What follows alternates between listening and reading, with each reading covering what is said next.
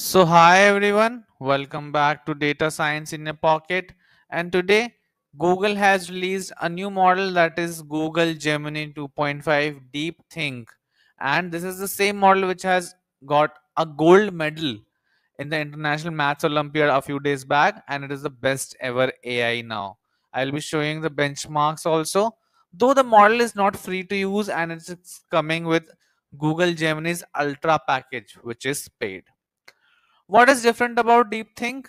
It has parallel thinking coming up. That is, it can generate multiple ideas simultaneously and consider them in parallel, like brainstorming 50 versions of itself. It has introduced a concept called as extended thinking time.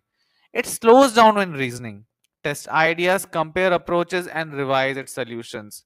And Reinforcement learning is also present, like novel techniques encourage the model to use extended reasoning paths.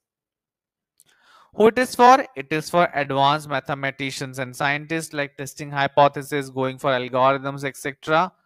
Developers and engineers, researchers and designers and builders. Talking about the benchmarks, as you can see on the right hand side, reasoning and knowledge, it has beaten OpenAI O3 and Grok 4 also. On Humanity's Last Exam it has reached 34.8% which is very high. In code generation also mathematics and mathematics AIME 2025 the model is just killing everyone and it is the best out there.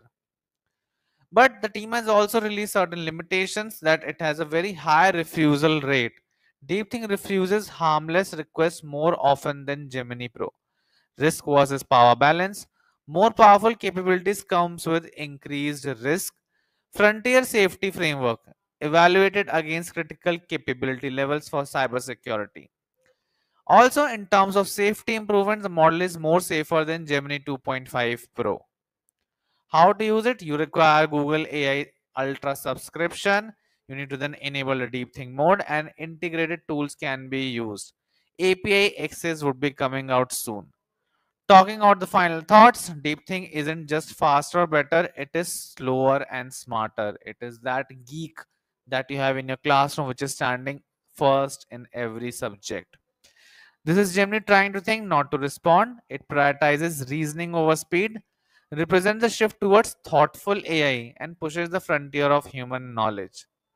I hope this was useful. You if you get a chance do try out google gemini 2.5 deep think and let me know in comment section how you feel about the model. Thank you so much